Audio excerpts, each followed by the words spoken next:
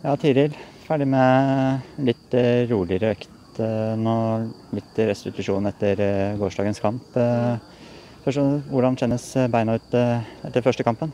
Det kjennes faktisk ganske bra ut. Jeg trodde det skulle være ganske mye verre siden det var ganske hard bane, men de kjenner ganske bra ut. Mm. Mm. Økta her kjører litt teknikk, litt pasninger, litt avslutninger og avslutter med litt lek og moro med mm. firkant. Hvordan syns du økta her var? Eh, økta var veldig bra. Jeg har fått hatt det litt rolig med gode pauser, så jeg syns økta var bra i dag. Mm. Eh, vant jo første kampen. Eh, nå gjelder det kanskje å omstille og være klar for ny kamp til helga. Mm. Hva er det som blir viktig å gjøre nå denne uka her?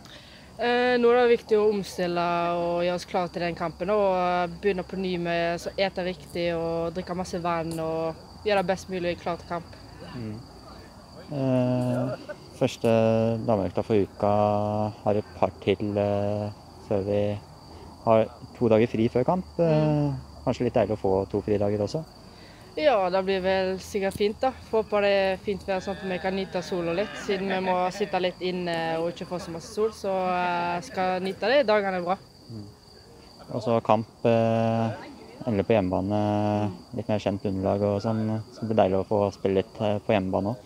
Ja, det blir deilig å spille litt på større områder, siden vi har spilt nå på en ganske liten. Så det blir deilig at vi skal ha kontroll der.